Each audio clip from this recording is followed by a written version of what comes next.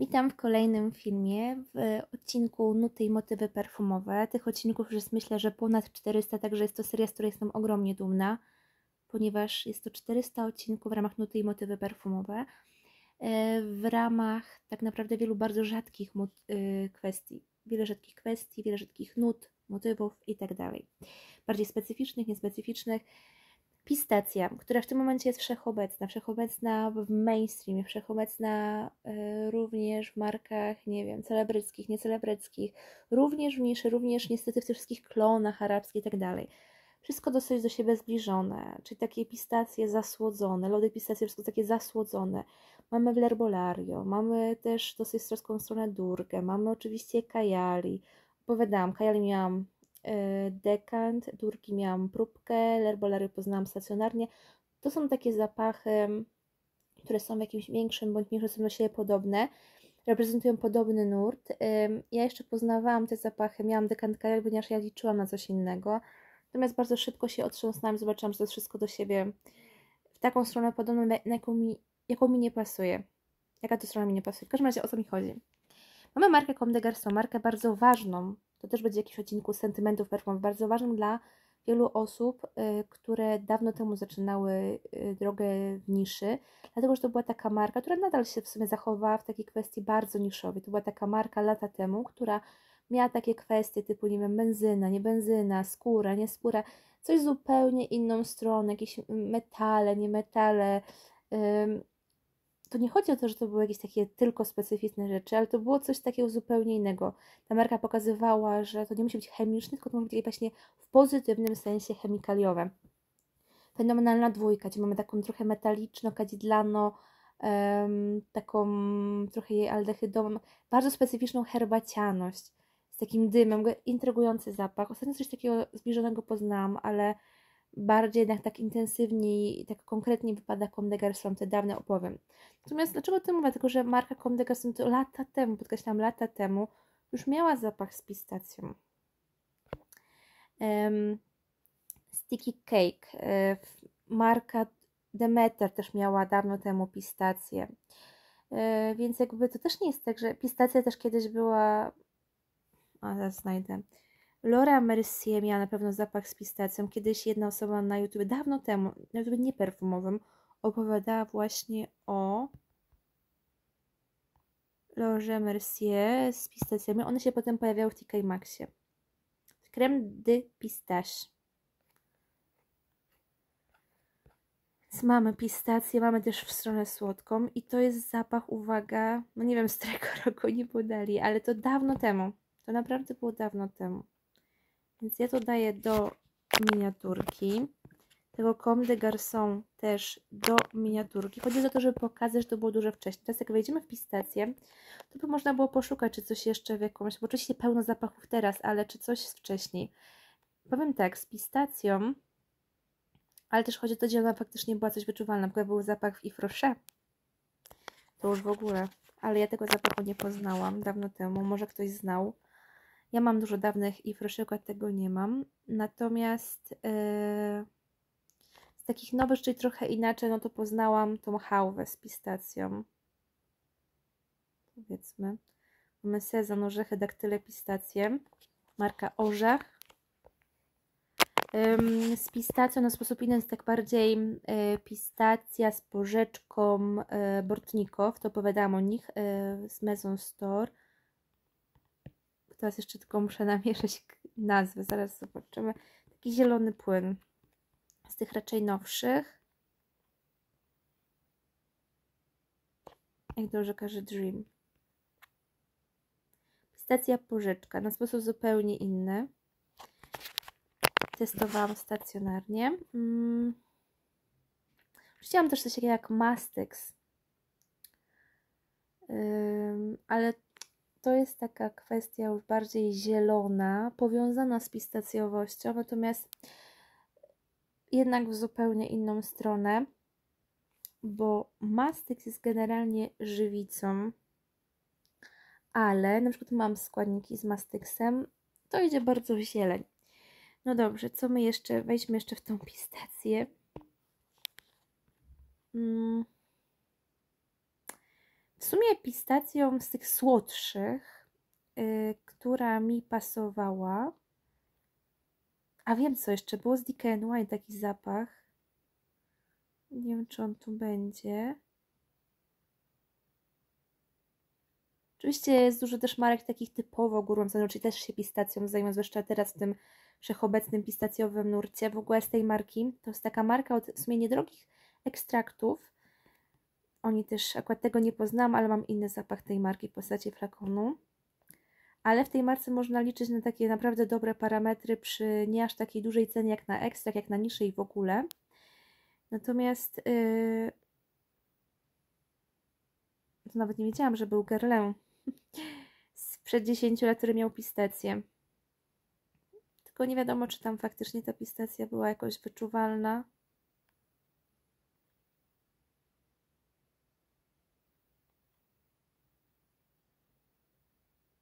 Tak przeglądam szybko omówienie, żeby zobaczyć, czy jest wspomniane o pistacji. Chyba nie. Natomiast yy, no oczywiście jest marka Gourmand Ganache, czyli ona też na pewno jakieś tam pistacjowe rzeczy. Akurat dużo zapachów Ganache poznałam z różnym skutkiem, ale pistacjowego nie. Natomiast ja szukam, ponieważ ja mam taki, tam była pistacja. DKNY, wersja taka pastelowo-zielona. Kiedyś bywały w budżetowych cenach. Swill. O, i tam coś takiego było trochę w stronę pistacjowości właśnie. Na szczęście nie było tej problematycznej kokosowości. Dobrze wspominam ten zapach, mam, muszę namierzyć też pod kątem posprawdzania, jakbym teraz odebrała pod kątem zawartości ulokowania kwestii pistacjowej tak jak mówię, jest dużo zapachów też budżetowych z pistacją, jest dużo zapachów pistacjowych, takich gourmand osłodzonych, jest dużo zapachów właśnie w stylu tego kajali czy durgi i tak dalej. Poznałam też jeszcze, teraz zapomniałam o marki, jeszcze inną pistację, bo miałam dwie wtedy pistacje, pistację kajali i jeszcze jedną.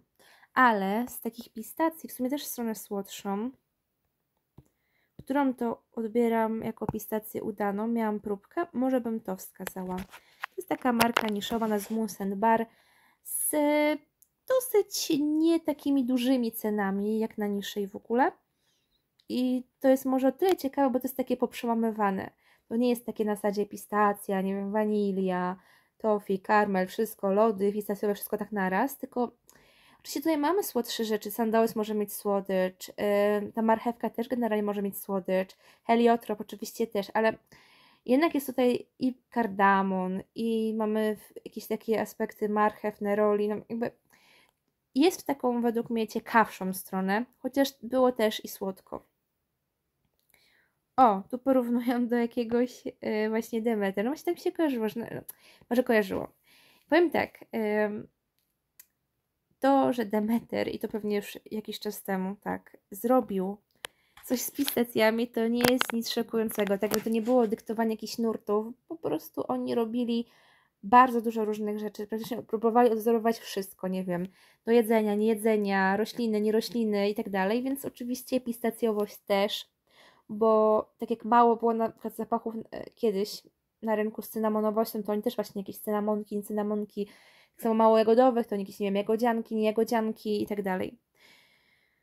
Natomiast yy, zobaczmy z ciekawości, w ogóle jak znacie coś z pistacją, ale w zupełnie inny sposób, to dajcie znać. Powiem tak, jak mi się uda zdobyć składnik pistacjowy, nie mam aktualnie, mam składniki z mastyksem, ale mi się uda zdobyć składniki, yy, coś z pistacjowością, to na pewno pokuszę się o zabawę tym tematem na zupełnie inny sposób żeby to, nawet jeżeli to będzie górmą z pistacją, to żeby to poszło w zupełnie inną stronę.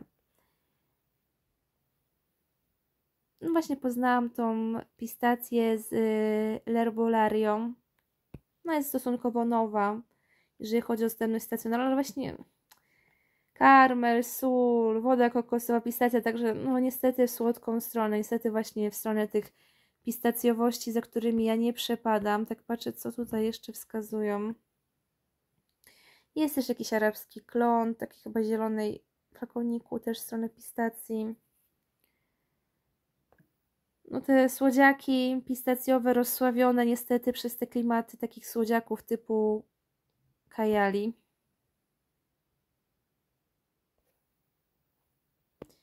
Nie wiedziałam, że w tej marce coś jest z pistacją. Ale tutaj też tak właśnie trochę inaczej. Porównam do pistacji tej marki. A w ogóle ta marka francuska. Z tej marki, powiem szczerze, jest kilka fajnych rzeczy. Mają też w ogóle werbenę. Opowiadałam kiedyś o, chyba Fidze opowiadałam, na pewno o Poivre, na pewno opowiadałam o Unut, które są w ogóle nie agarowo w stronę. Unete opowiadałam, także o nich, o, chyba Skowi, Skowi, nie wiem, że mawiam, trochę też. Tak jak mówię, Durgę poznałam, miałam próbkę. Tam było słodko, ale trochę było przełamanie. Nie było źle. O, jest jakiś, oj, nie taki chciałam. Nowa Zara, nie wiem czy Sara, nie wiem czy akurat jest dostępna stacjonarnie, ale no, może o tyle dobrze, że Irys, chociaż tonka słodka, no nie wiem. Porównują do, oj, porównują czegoś, co w ogóle jest pistacjowe.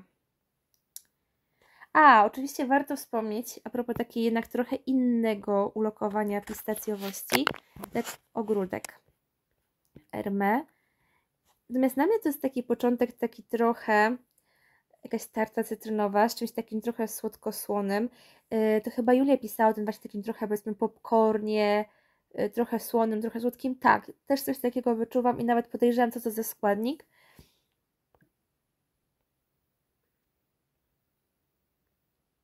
Pozostał też zapach z piergiją, z pistacjowością, ale chyba raczej na słodko. Tak patrzę, czy coś jeszcze poznałam. Jest nowy zapach z Victoria's Secret z pistacją, ale jak widać nie w takim momencie, jakbym chciała. Zresztą w tej marce jest bardzo dużo takich dla mnie za słodkich i takich zbyt wypłaszczonych klimatów. Akurat y, sklep Victoria's Secret jest na przykład na lotnisku, ale ja już nawet ostatnio nie zaglądam. Aż tak mnie to nie ciekawiło.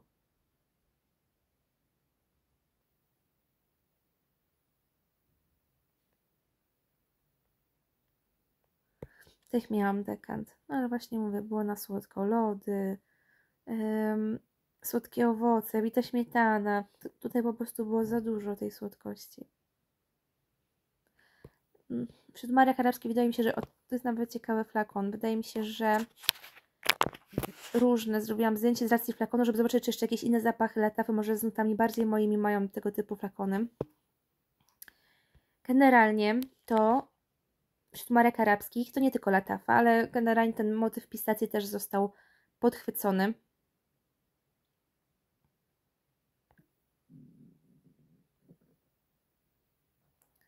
Tak mówię, wśród marek, a to są na przykład właśnie Paris Corner Pistachio. Ym, ale Vibrant Pearl, kanadyjska marka niszowa, mam w ogóle dwa flakony. Yy, już pokazuję, które ja mam mm, Bat i mam Wild. Natomiast tego nie znam, to jest nowy zapach trochę ciekawszy sposób, mam wrażenie, zajmują się kwestią pistacji, że mleko, że herbata, że różowy pieprz. Także może to dam do miniaturki. Jest to raczej mało znana marka, o której ja trochę wspominałam. Nigdzie wcześniej nie trafiałam na informacje yy, właśnie z kwestią... Yy, nie wiem, czy nie ma literówki tutaj w nazwie marki na yy. Właśnie Dua Brand, tak z tego że amerykańska. I właśnie te różne amerykańskie marki, ja mam dwa flakony. Yy, jakieś pokazywałam. Jak się, powinno się znaleźć te filmy na moim kanale. Yy, nadal je mam. Dwa albo trzy. W każdym razie ja je odebrałam, jak byliśmy u moich rodziców ten nieszczęsny czas, w cudzysłowie, COVID.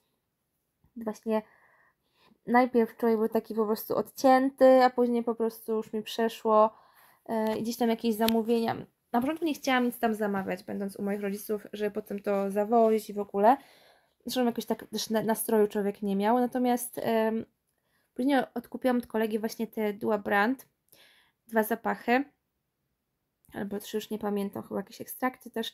W każdym razie yy, właśnie to jest zapach z kiedy? Jakoś z teraz. Też się zajęli właśnie pistacją. Ale o co mi chodzi? Generalnie to, czy ta marka, czy jakiś inny, jest dużo marek amerykańskich, takich nawet czasami amerykańskich rzemieślniczy, które mocno, że tak biorą pod uwagę jakieś takie, powiedzmy, różne gourmand, różne amerykańskie różne amerykańskie słodkości, także to jest marka Solstice, yy, ale nie tylko. W ogóle są na rynku marki, tak jak mówiłam, Ganache, jest marka Joussette, tu jakieś opowiadałam, miałam jeden zapach postaci flakonu i coś tam jeszcze innego. W każdym razie pokazywałam, że są marki, które są typowo zajmujące się górmą. Tam oczywiście też znajdziemy pistacjowości, o na przykład Joussette, pistacjo. Mm. Mnie bardziej interesuje, gdzie widzę jakby zapach z pistacją. Widzę na przykład markę, która może mieć coś sensownego z pistacją, ale gdzie widzę szansę na pistację w zupełnie inny sposób, albo gdzie widzę, że pistacja powstała dużo wcześniej. Tak jak na przykład to na Karan. Niestety większość pistacji powstała jakoś teraz, czyli to jest rozpowszechniony, już chyba wymęczony yy, nurt gourmand z pistacją. Tu właśnie mówię wcześniej, Comme de Garçon, Laura Mercier, Zielona Omnia,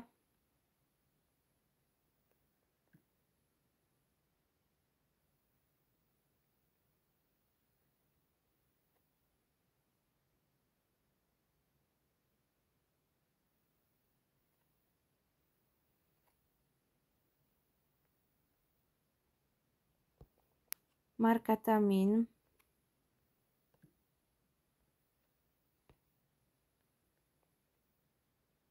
No tu widzimy już zupełnie jakieś inne ukazanie, zabawę tematem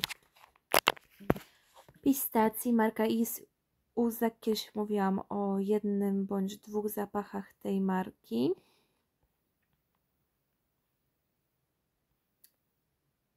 Blancom które kiedyś miałam w postaci dekantu, też wskazują pistację. Ja jednak bardziej orzechowo to odebrałam. Ten zapach jest praktycznie prawie 10 lat.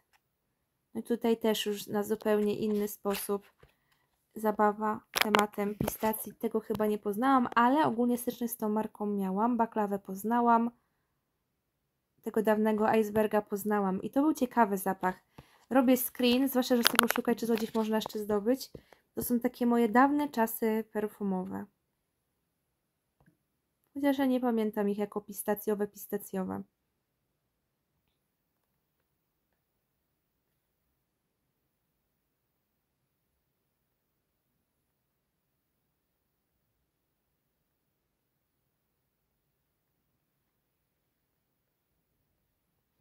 Mm, te miałam i tam trochę było tej pistacjowości. Tu się zgodzę. Miałam oznaczenie, że mam, ale wydaje mi się, że już chyba ich nie mam, nie wiem.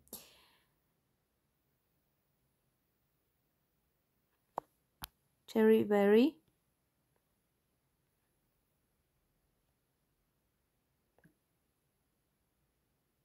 Naf Naf też poznał w między, międzyczasie z pistacją mi New York. Róża, pistacja, syropy.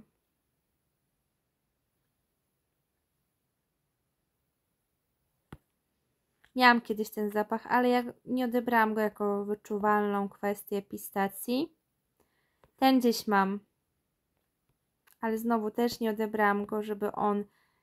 On jest przepiękny, on jest y, taki cielesny, taki trochę słodkawy, nie wiem, kremowy, lekko pudrowy, nie wiem, jakiś taki...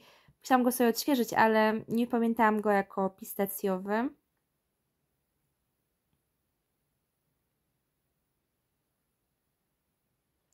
A, oczywiście ten zapach poznałam. W Kalilu jest ta marka, to ten muszę dodać. To tutaj faktycznie yy, mamy pistację. Faktycznie w którymś tym Versatil poznałam było trochę pistacjowości. Także ja z tej marki mam w ogóle zapach z Pepsi, tam Coca-Colą. Mają różne rzeczy mają ładną taką herbaciano-jaśminową. Mamy dostęp do tej marki stacjonarnie w Gdyni.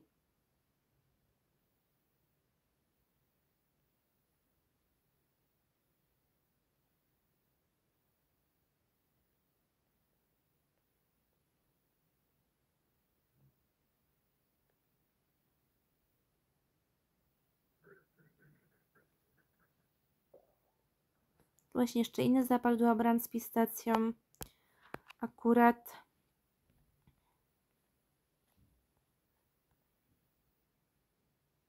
taką stronę, że ta pistacja może się w ogóle generalnie skupić. Dajcie znać, czy lubicie pistację w perfumach w jakim ujęciu, czy znacie coś naprawdę takiego bardziej unikalnego z pistacją.